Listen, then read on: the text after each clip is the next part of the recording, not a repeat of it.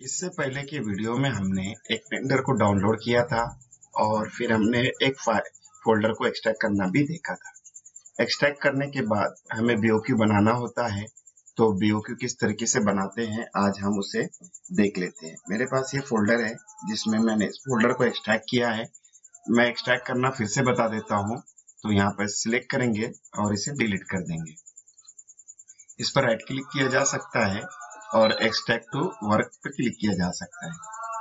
तो देखो, एक फोल्डर मेरा रेडी हो जाता है। अब मैं इसे डबल क्लिक करता हूँ। उसके बाद और डबल क्लिक करता हूँ तो ये फ़ाइल ओपन हो जाएगी।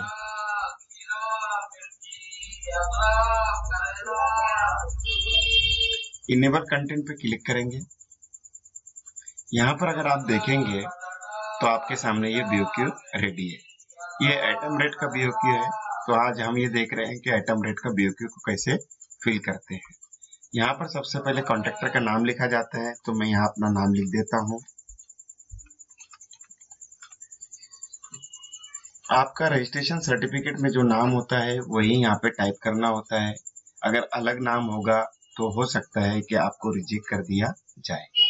यहाँ पर आइटम रेट होने की वजह से यहाँ पर आपको हर जगह कुछ ना कुछ अमाउंट डालनी ज़रूरी होती है। हम ये डमी भर रहे हैं, हमारा कोई ये ओरिजिनल नहीं है, इसलिए हम यहाँ पर एक अंदाजे से अमाउंट डाल सकते हैं। यहाँ पर देखो क्वांटिटी दी गई है और यहाँ पे एस्टिमेट का रेट भी दिया गया है। अगर यहाँ मैं एस्टिमेट का रेट अपने तौर पे यहाँ पे टाइप करूँ तो देखो मैंने यहाँ पे टाइप किया और इंटर करता हूँ तो देखो यहाँ पर कुछ अमाउंट यहाँ पर आ जाती है। तो इसका और इसका कैलकुलेशन करके यहाँ पर अमाउंट आ गई है। अगर मैं यहाँ पर क्लिक करूँ और इंटर करूँ और उसके बाद मैंने एक टाइप किया तो देखो यहाँ पर ये अमाउंट यहाँ पर आ जाती है। आइटम जो रेट का बीओके होता है, इसमें आप कोई भी कॉल सेल नहीं छोड़ सकते। तो यहाँ पर मैं एक डमी है हमारा, इसलिए अंदाजे से यहाँ पे मैं टाइप कर रहा हूँ। यहाँ पे हम टाइप कर देते हैं। टाइप करने का तरीका यह है कि सिर्फ़ इस पे सिंगल क्लिक करना होता है। और यहाँ पे टाइप कर देना होता है। इस तरीके से हम टाइप कर रहे हैं।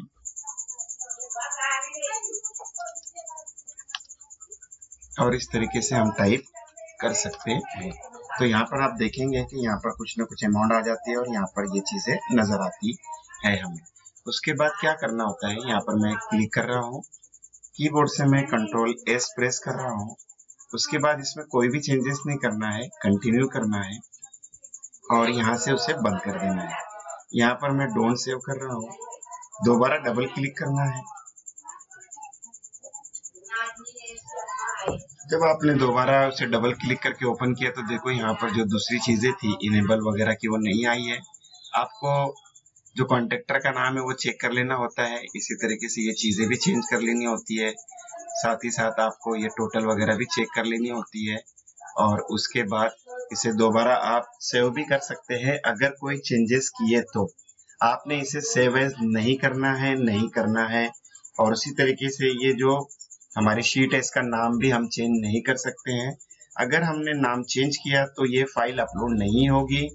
शीट का नाम चेंज होने से फ़ाइल अपलोड नहीं होती है। इसी तरीके से अगर हमने इसे सेव एज किया तो भी ये फ़ाइल अपलोड नहीं होगी। अगर कुछ चेंजेस किया है तो ही सेव करना है। नहीं तो आप इसे डायरेक्ट भी बंद कर सकते हैं। मैं यहाँ से क्लिक करता हूँ और इसे डोंट सेव कर देता हूँ। एक बार और बता देता हूँ आपको डबल क्लिक करके।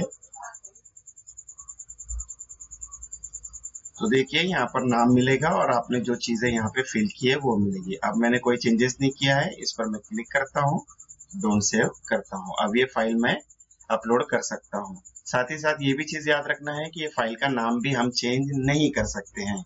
अगर हमने फ़ाइल का नाम चेंज किया तो भी ये फ़ाइल अपलोड नहीं होगी।